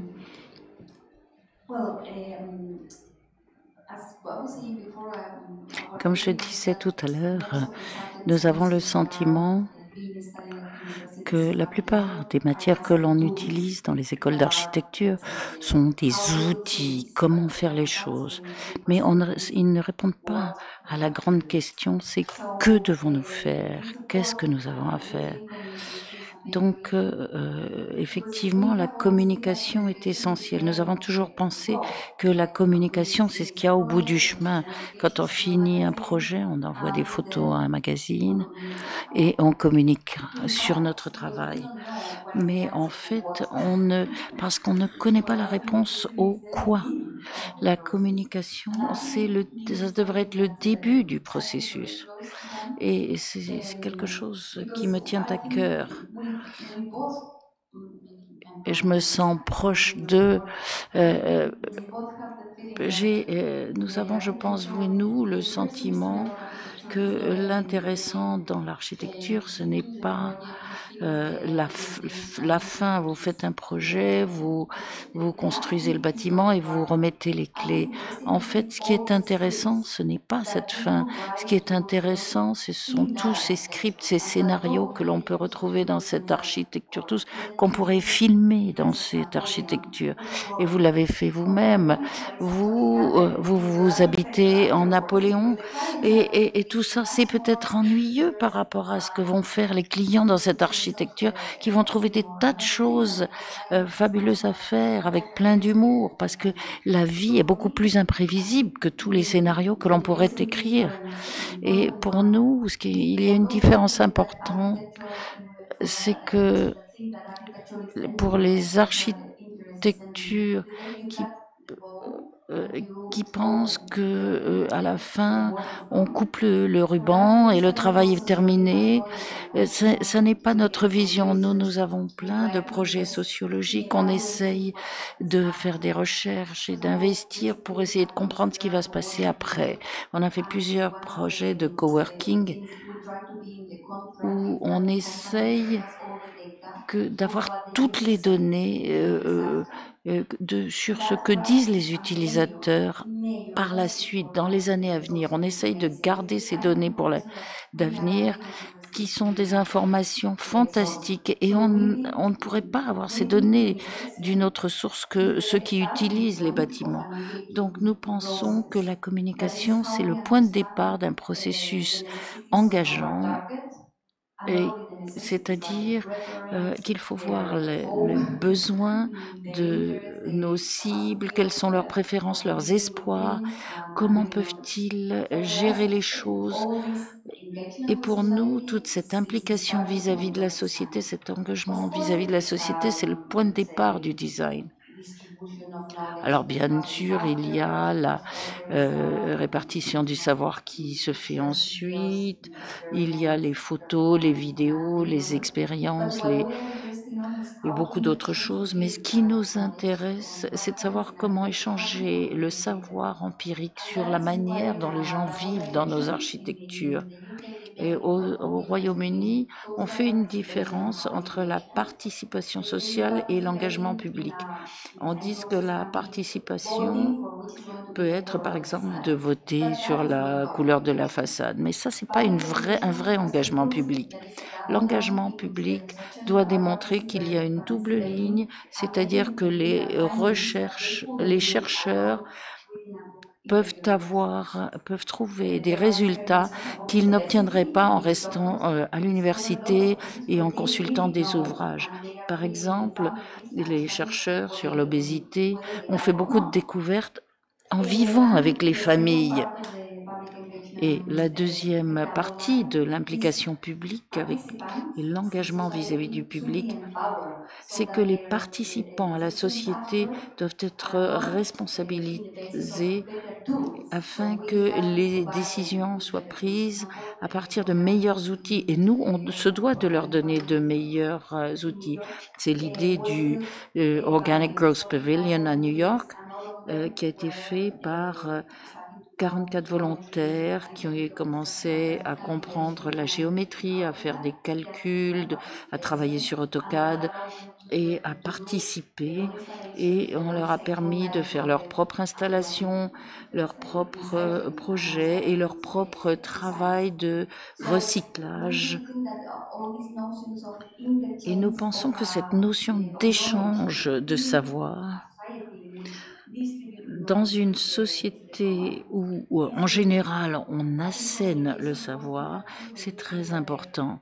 On voit les choses différemment quand on pense que le savoir euh, est dans les mains de, des enseignants et qu'il va euh, être descendant ou asséné de manière descendante, ou quand on réfléchit en se disant que le savoir il est réparti dans toute la société et qu'il est important de réunir ensemble les informations importantes et de pouvoir les faire passer. Et il faut comprendre les clés pour bien comprendre le big picture assez forte, euh, justement de, montrer comment le projet n'est jamais ex nihilo, mais il n'est jamais non plus ex collectivo, si on peut dire que justement cette dimension du commun, elle est, elle est, vraiment prégnante en architecture. Je sais qu'il y a un cocktail, je sais qu'il y a des questions aussi. Je vais juste peut-être euh, pour finir, je sais que je finis pas par la, question, la, la, il y en a que je saute. Mais je finis peut-être pas par la question la plus simple, mais hum, j'ai l'impression que dans ce que vous nous dites, des images euh, du monde que vous manipulez, de vos positions, de vos stratégies, euh, il y a quelque chose qui permet de penser, euh, je pense qu'un point euh, auquel les architectes doivent se confronter aujourd'hui, qui est une espèce de, de hum, position assez inconfortable, peut-être assez ambiguë, qui est profondément liée à ce qu'est l'architecture économiquement, mais aussi disciplinairement, qui est ce rapport au pouvoir. Rapport au pouvoir qui est constitutif de l'économie, ben, on est euh, tributaire de la commande, des commanditaires, et qui est constitutif de la discipline, puisque euh, de Vitruve qui écrit pour César à, au, au, dernier, disons, expériences théoriques, il y a toujours un rapport d'une mise au service du pouvoir, quelques, quelques formes de pouvoir, euh, enfin, disons quelle qu'en soit, l'incarnation. Et finalement, alors vous vous appelez Frix, faut le faire. Euh, vous revendiquez aussi une forme de, une certaine euh, excentricité. Alors ma question, c'était finalement comment est-ce qu'on reste euh, transgressif, pas au sens de provoquant, mais plutôt comment est-ce qu'on finalement on ne se laisse pas figer dans une identité préétablie euh, quand on est dans cette position de rapport nécessaire euh, au pouvoir économique, politique, etc. C'est pour finir sur les petites.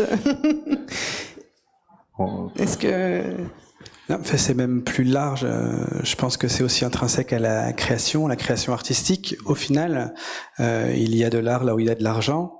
Euh, ce qu'on va voir quand on va à Rome ou ailleurs, ça a toujours été financé par des espèces de mécènes qui en fait valorisaient à travers leurs commandes artistiques une forme de pouvoir aussi qui s'installait d'autant mieux qu'ils qu prenaient de la place au plafond, sur les murs et dans la rue. Euh, c'est un sujet qui nous intéresse beaucoup aussi parce qu'on fait beaucoup de commandes publiques. Euh, d'équipements culturels. Donc on sait qu'on a beaucoup de chance aussi parce qu'on est sur des projets qui sont toujours extrêmement stimulants. Les projets en ce moment à l'agence, c'est euh, un, musée de d'art de, de, de, verrier, de verre soufflé qu'on est en train de refaire complètement. C'est en chantier à Meisenthal. Le musée d'histoire naturelle de Strasbourg avec une énorme collection d'animaux empaillés. Enfin, on est sur des, des sujets vraiment intéressant, chouette, mais on est, euh, là on le sent tout de suite maintenant, on est contraint par euh, le calendrier politique par exemple. On est extrêmement dépendant des décisions politiques, pas qu'on travaille toujours pour le pouvoir en place, mais un projet culturel public est toujours dans une perspective de programme politique ou peut être balancé par un autre contre-pouvoir euh, politique. Donc on est dans cette fragilité-là. Euh, la MECA à Bordeaux, donc le FRAC, euh, il a mis du temps à sortir parce qu'il y a eu des élections régionales. Le, le, notre client, du coup la région, président de la région a été réélu, mais on n'est jamais sûr de rien. Euh, c'est une bonne entente avec la mairie, la ville de Bordeaux, mais il y a aussi des événements locaux qui font qu'on n'est jamais sûr de rien. Donc les projets sont figés, sont retenus, ça repart, ça revient. Donc finalement, on cette question de l'autorité, je pense qu'on la vit nous aussi en essayant de faire, euh, c'est bête de le dire comme ça, mais euh, de faire du mieux qu'on peut, ou en tout cas en essayant d'avoir aussi une forme de distance avec les projets, parce que sinon ça en devient fou en fait. Mmh. Euh, il faut un moment être capable de, de fermer l'écran et de se dire bon, tout ça n'est que de l'architecture aussi. Et maintenant c'est le week-end. Tout ça n'est que de l'architecture et maintenant c'est les vacances. Tout ça n'était que de l'architecture et maintenant c'est la retraite. Inch'Allah. C'est non mais cette idée aussi de dire que on fait ce qu'on mieux avec ce qu'on a. Et, euh, et l'ensemble des gens autour de la table aussi euh, puisqu'on est de fait pas tout seul quand on est architecte. Il y a souvent beaucoup de gens autour de la table. Je sais pas si j'ai répondu à la question non mais c'est vrai que le, nous on a depuis très longtemps on, a on entendait l'architecture euh, et politique. Et on, on c'était assez abstrait le temps qu'on a eu jusqu'à ce qu'on crée notre agence et là, on a tout de suite compris effectivement que oui, l'architecture est politique, qu'on le veuille ou non. C'est pas un choix, c'est que ça nous arrive comme ça sur la figure. Euh, et euh, alors que c'était quelque chose de vraiment abstrait avant. Et tu parlais des calendriers, euh, des élections municipales, etc. Mais vraiment, ça, ça, ça, se sent et ça se subit ou pas, mais c'est là, ça existe. Et par rapport à notre nom, fric, excentricité, tout ça ou pas, ce qui est assez confortable pour nous maintenant, c'est que dès le début, on a essayé de faire des projets qui nous intéressaient et que des projets qui nous intéressaient. Et donc le maintenant, on a la chance qu'on vienne nous chercher pour un peu l'exigence ou la, volonté de, des projets qu'on a, qu'on a un peu tenté de dompter c'est assez confort. Enfin, on a de la chance. on a de la chance. Enfin, ça laisse entendre qu'on aurait fait la fine bouche sur plein de projets. Euh, c'est pas du tout ça. mais on a refusé des projets aussi. Mais on a, on a globalement décidé que de, de, de tout garder. Il n'y avait aucun projet qui était euh, invisible. Tous les projets qu'on fait sont publiés. Il n'y a pas de projet caché qui serait plus rémunérateur et, et que de immobilière avec le pouvoir, voilà, on aurait, on se serait un peu fourvoyé. Euh, euh tout, tout, tout, ce qu'on fait est transparent, c'est-à-dire tout ce qu'on fait, on l'assume et on estime qu'il y a toujours quelque chose à, à, à, ressortir de chaque projet, quoi. Une, une qualité, alors c'est variable, hein, quelquefois c'est quelquefois c'est plus évident euh, sur certains projets, mais euh, et cette relation avec le pouvoir, c'est au moins d'avoir cette espèce de, de, de, de, transparence, en tout cas, sur nous, ce qu'on a essayé d'apporter dans chaque projet. Voilà. Ce que je voulais juste dire, c'est qu'on a essayé d'être cohérent, et à un moment donné, la cohérence, elle, euh, je sais pas, je dis ça pour, pour tout le monde, il faut, faut, faut essayer d'être cohérent. Sinon, de toute façon, on se prend les pieds dans le tapis au bout d'un moment, donc on n'y arrive plus. Donc, voilà. Peut-être Idzaskun sur cette question de tenir une certaine position et une certaine capacité à se transformer malgré ce, rapport euh, au pouvoir Pour conclure et avant d'ouvrir euh, aux questions. Sorry, because it, takes a while until the sentence is, eh, is ended. Désolée, je dois attendre la fin de, la phrase. Euh, donc, ma notion de pouvoir n'est pas uniquement liée à celle, au client. Je crois que quand une société vous engage, on a l'impression qu'ils ont acheté votre âme. Mais en fait, il y a beaucoup euh, d'autres pouvoirs en jeu en architecture. Il n'y a pas que le client. Et je crois que pour beaucoup d'architectes, les euh, magazines, par exemple, sont importants, ou le fait d'avoir le prix, un prix, ou euh, quand un client a besoin d'une maison, il ne se préoccupe même pas de savoir si cette personne est satisfaite. Donc le pouvoir est important en architecture, ce sont les magazines, les, les commissions, les, commandes, euh, il y a beaucoup de choses en jeu. Notre position, c'est qu'on doit naviguer, euh, tenter de rester honnête et transparent et s'amuser en même temps, euh, comme cela a d'ailleurs été dit. Et il y a autre chose qui a été dite également. Il ne s'agit pas de proposer un jeu fermé, mais plutôt un jeu ouvert où les gens peuvent profiter de notre architecture et y jouer le jeu qu'ils veulent jouer et non pas le jeu que nous, nous leur proposons. Et il y a un autre effort qu'on essaye de déployer, c'est que quand on conçoit quelque chose, on essaye de savoir qui va tirer des avantages de notre architecture. Parfois, quand on dessine, on conçoit avec soin, euh, les propriétaires vont profiter de vivre dans ce lieu, mais en dessinant la façade, par exemple, d'une certaine manière, vous apportez aussi un avantage et un bénéfice à tout le euh, voisinage. Donc, euh, l'architecture, c'est une manière de remettre en question les pouvoirs de bien des manières. Essayer d'être très spécifique dans les bienfaits de l'architecture et essayer de les répartir le plus possible. Tellement d'autres choses à dire, mais on parle déjà depuis un certain temps, et puis j'imagine qu'il y a, j'espère, je pense que ils espèrent qu'il y a des questions, des commentaires euh, qui sont plus sur les points qu'on a évoqués sur tous les autres, sur les projets peut-être dont on n'a pas parlé ce soir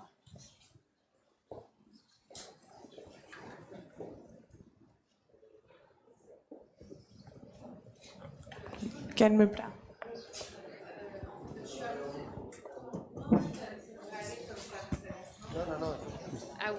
Parce que d'accord. En fait, euh, je suis arrivée en cours de conférence. Vous faites tous partie de la même agence, c'est ça? Oui. D'accord. Et alors, ma deuxième question, c'est si vos projets étaient essentiellement de la commande publique ou vous travaillez aussi en privé? On fait des projets en Espagne, en France. Ah oui, d'accord. Euh, je vous... Ah voilà. Mais sinon, vous deux, vous êtes de la même agence. Tous les, tous les chiffres Les garçons lèvent la main. Les chiffres impairs, là. Ouais. Ouais, voilà. Frix, c'est ça Oui. Super. Hmm. Et vous, et vous faites que de la commande publique Non. Non. Non, non, non. En France, euh, je parle. Où vous voulez. Ah, d'accord. Non, non, en fait- grande partie quand même. On fait du privé et du public. Après, voilà, on a, on a pas mal de commandes publiques. oui. Enfin, on fait des concours, hein. c'est pas, Oui, ça voilà, pas c'est du ça. ciel euh, Ok. tout le temps. Merci.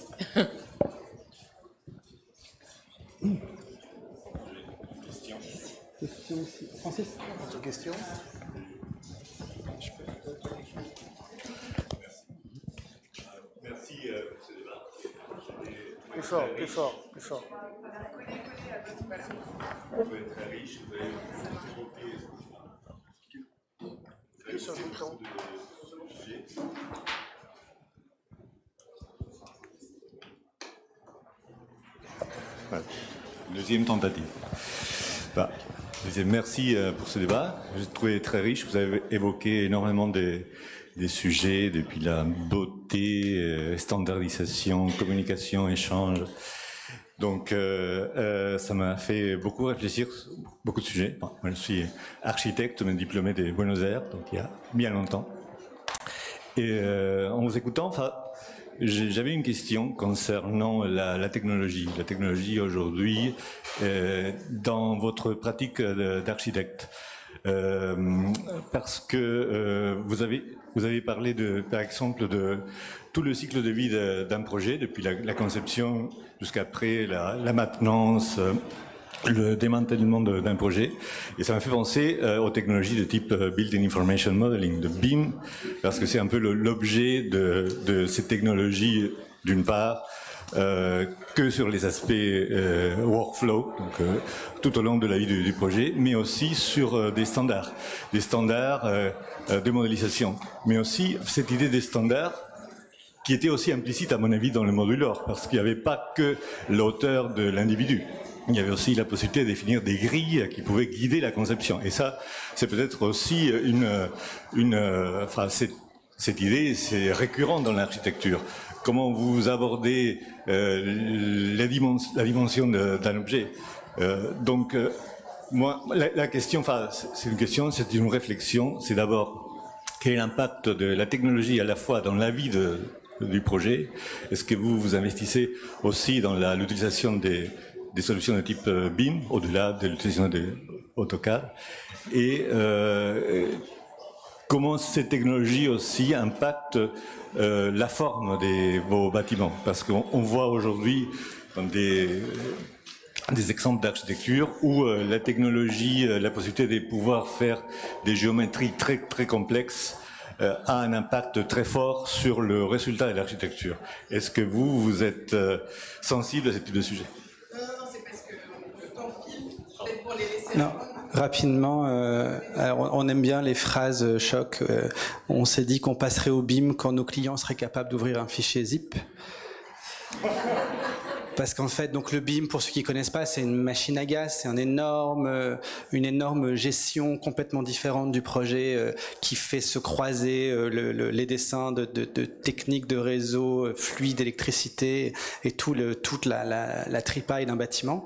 Et dans notre cas précis, on fait beaucoup de réhabilitation. Et du coup, pour avoir déjà la maquette BIM de l'existant, c'est déjà, un, mais c'est un budget aussi. C'est un budget, c'est du temps. Et du coup, dans les derniers concours où on avait des missions BIM, en fait, elles ont été dissolues dans d'autres missions complémentaires. On a négocié pour faire autre chose. On s'est payé un concepteur lumière, des graphistes. Voilà, on a, on a rajouté des petites choses au projet qui manquaient au début. Et euh, tout de suite maintenant, en tout cas, nous, on n'est pas encore euh, complètement passé au, BIM, vraiment dans la conception, parce qu'on se confronte à une espèce de, ça, ne marche pas. Pour l'instant, ça ne marche pas sur la réhabilitation et à l'échelle des projets. Mais peut-être tu as une vision différente. Euh, pareil, j'enfonce le clou. De manière délibérée, c'est-à-dire que nous, on, voit toutes les agences autour de nous passer en BIM. Nous, je pense que dans quelques années, on va vraiment être les derniers, mais on vieillit, nous, on court pas après, on a l'impression que euh, ça, ça va pas, ça va pas s'adapter à nous euh, et que euh, et que ça. Alors, on ne dit pas qu'il faudra pas le faire un jour, hein, mais euh, on sent que pour l'instant, c'est à marche forcée et qu'on nous impose tous de de, de on impose un, un, une technique, un, un, outil technique qui euh, qui, euh, en toute honnêteté, n'est pas euh, d'une urgence extrême pour nous, en tout cas. Mais, mais euh, en fait, ce qui est paradoxal, c'est que cet outil permet d'échanger et de communiquer, de transmettre une certaine connaissance sur le bâtiment. Donc, en quelque sorte, c'est c'est ce que vous cherchez, hein, si je ne me trompe pas. Non, le, le, et, et, par ailleurs, enfin, par rapport juste une, un mot, par rapport à la réhabilitation, aujourd'hui, je pense que les techniques d'intelligence, enfin, artificielle et la possibilité d'interprétation d'images, enfin, j'ai vu des démonstrations dans un contexte contexte plutôt au système d'information géographique et modélisation des bâtiments, BIM, permet de récupérer des, des plans à partir des, des, photos, des images, et de convertir cette information en, euh, modèle, en données, en modèle, en données 3D.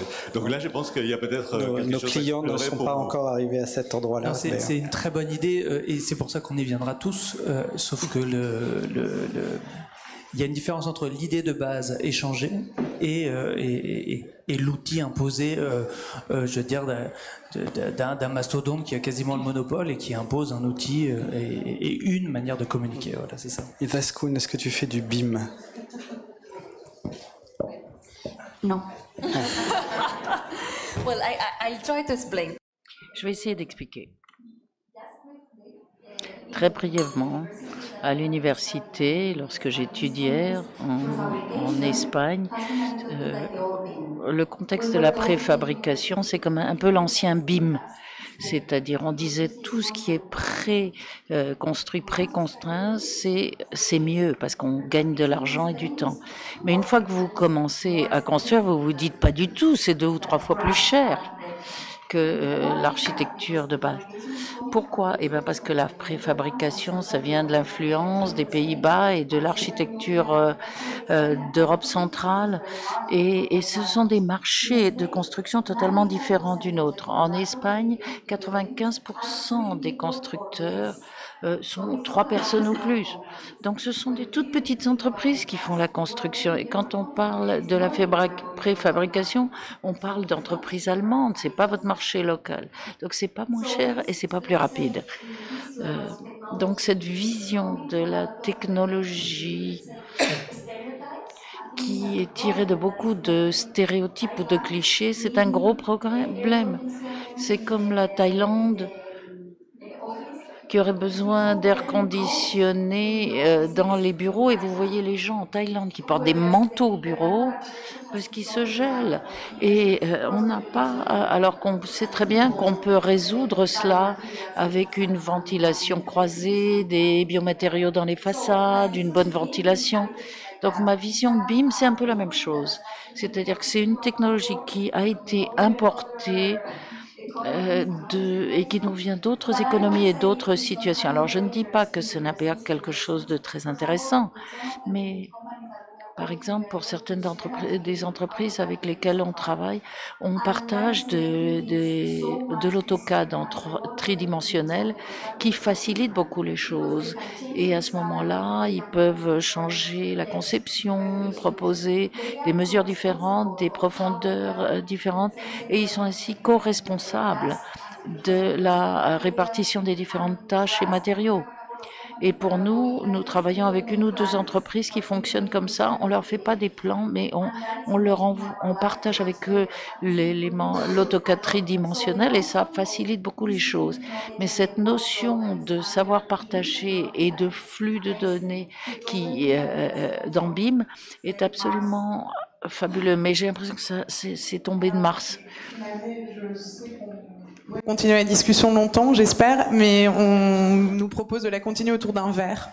Euh, voilà. Donc, merci beaucoup, Itaskoun. Merci. Cyril, Yves et Guillaume.